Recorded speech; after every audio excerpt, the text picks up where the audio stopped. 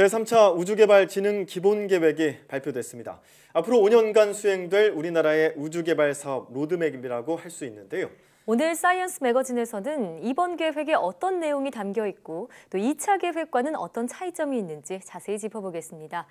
이번 제3차 우주개발진흥기본계획의 기획연구 총괄을 맡은 한국연구재단 신희섭 우주기술단장과 함께합니다. 어서 오세요. 네, 반갑습니다. 네, 반갑습니다. 네, 이번 계획 수립에서 기획 연구 총괄을 맡으셨다고 맞습니다. 하던데, 자 이 그 계획에 대해서 어떤 과정을 거쳐서 진행된 건지 참 궁금해하시는 분들 계실 것 같아요. 설명 좀 해주세요. 네, 아, 우주개발진흥 기본계획은 정부의 법정 계획으로 5년 주기로 수립하게 되어 있습니다. 아, 이를 위해서 작년 3월부터 한국연구재단 주관으로 어, 기획연구에 착수하였습니다. 아, 총괄기획위원회와 7개의 분과위원회를 에, 전문가를 중심으로 해서 그동안의 대내외 환경 변화와 기술적 발전 추세를 반영하면서 심층적인 검토를 진행하였습니다. 아, 그리고 어, 국가우주위원회에서 어, 최종 확정되었습니다. 예. 어, 제 역할은 주로 어, 한국연구재단에서 관리하고 있는 우주개발 사업의 자료를 제공하고 네. 정부 관계자, 전문가의 다양한 의견을 수렴하는 것입니다. 네, 그러시군요. 이번에 발표된 계획이 제3차 기본 계획이죠. 지난 2차 계획과의 가장 큰 차이점은 어떤 건가요? 네, 그 기본 계획이라고 하면 기본에 충실해야 되지 않겠습니까? 네. 예. 그 기본이라는 거는 제 생각에는 우주는 국민과 함께 한다는 사실입니다. 네. 새로운 비전도 도전적이고 신뢰성 있는 우주 개발로 국민의 안전과 삶의 질 향상에 기여하는 것입니다. 아, 세부적으로는 도전과 실리의 조화라는 목표도 갖고 있습니다. 아, 국내 역량을 감안해서 물론 기존 사업의 내용이 일부 조정되고 새로운 사업들도 어, 시작됩니다. 예. 아, 우선 한국형 발사체 개발 일정에 다소 변화가 있습니다. 네, 그렇더라고요. 예, 시험 발사체가 예정대로 아, 시험 발사체는 예정대로 올해 10월경 아, 발사할 예정입니다만 어, 두 차례의 3단형 발사체 본 발사는 21년으로 어, 조정됩니다. 네. 네. 원래는 19, 20년이었는데 대략 1, 2년 정도 지연된다고 보시면 됩니다. 네. 그렇네요. 어, 달 탐사 사업도 중요하지 않습니까? 네. 어, 달 탐사 사업은 20년 말에 예정된 시험용 달 궤도선 발사 이후 에, 차기 달 착륙선은 30년 이전으로 수정되었습니다. 아, 대신 35년까지 소행성 아, 소행성 기완선을 발사해서 임무 수행에 필요한 도킹, 지구 재진입 기술 등을 확보하게 됩니다. 네. 네.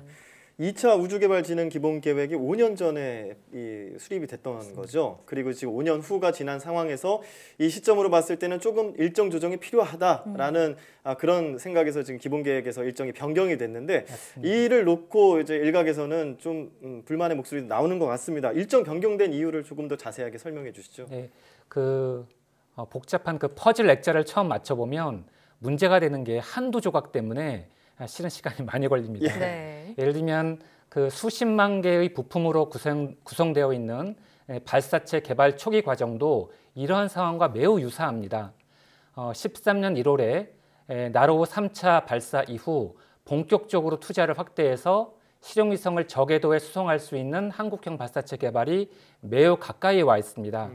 한국항공우주연구원은 75톤급 주엔진의 연소 시험에 성공하였으며 대부분의 서브 시스템 설계, 제작, 시험, 조립 등 기술 검증을 거쳤습니다. 네. 예. 그렇지만 그 독자 기술로 처음 시도하는 사업이기 때문에 기존 일정 자체가 아, 여유, 마진 없이 계획된 부분이 좀 있었습니다. 아, 대표적인 게 에, 추진제 탱크 제작에서 어, 많은 시행착오를 겪고 있고요. 어, 이것 역시 저희가 반드시 극복해야 되는 마지막 퍼즐 조각으로 이해해 주시면 고맙겠습니다. 네. 워낙 복잡한 이 우주 연구 개발이기 때문에 작은 시행착오에도 일정이 몇 년씩 연기될 수 있고 이런 점을 말씀해 주셨는데요.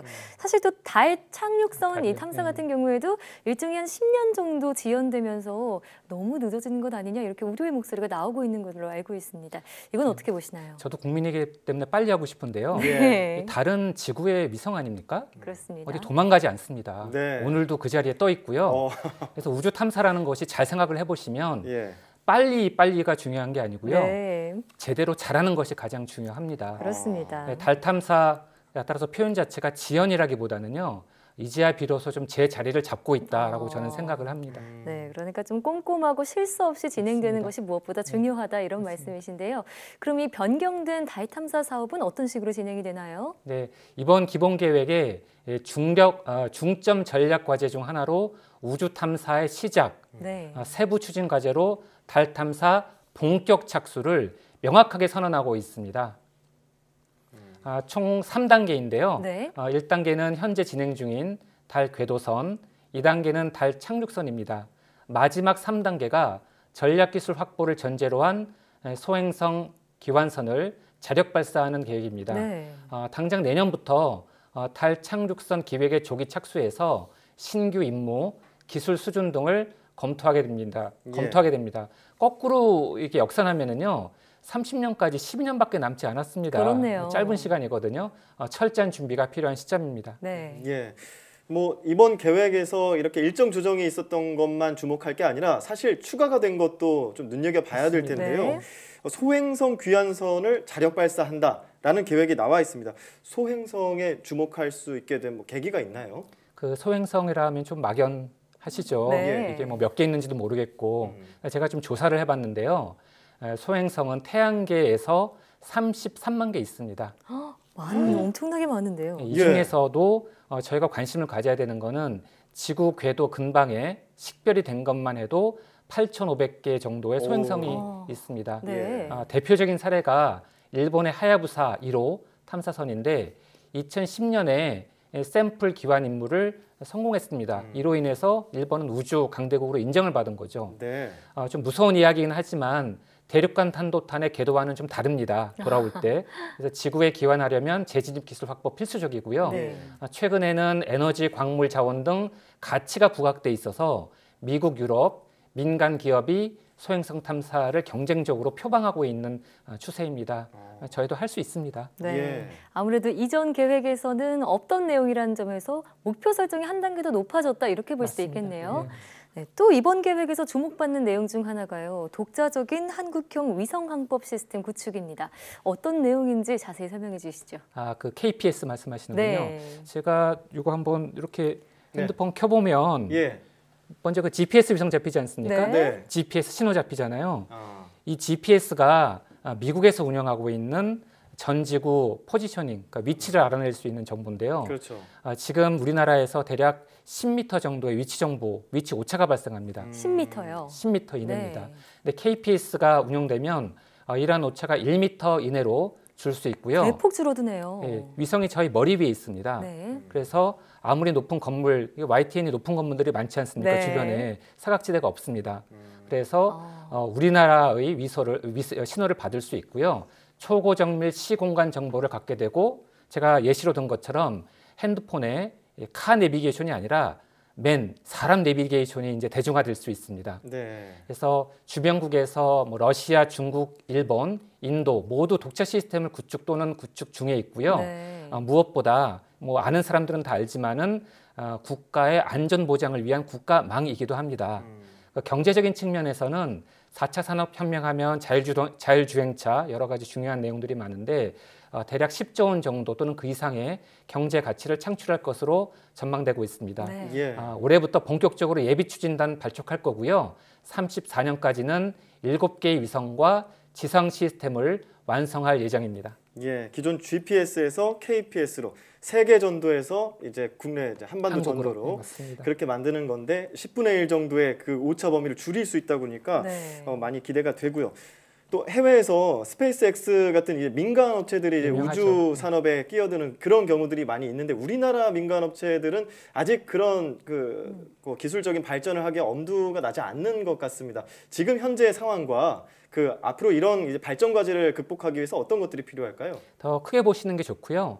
아, 우주 생태계로는 저희는 우주 혁신의 주체라고 지금 저 표현하고 있습니다. 네. 아, 지금보다 훨씬 더 많은 연구소, 산업체, 학계의 참여가 균형 있게 확대 확산되어지만 우주 생태계가 건강해집니다. 이 중에서 말씀하신 부분은 이제 산업 분야인데요.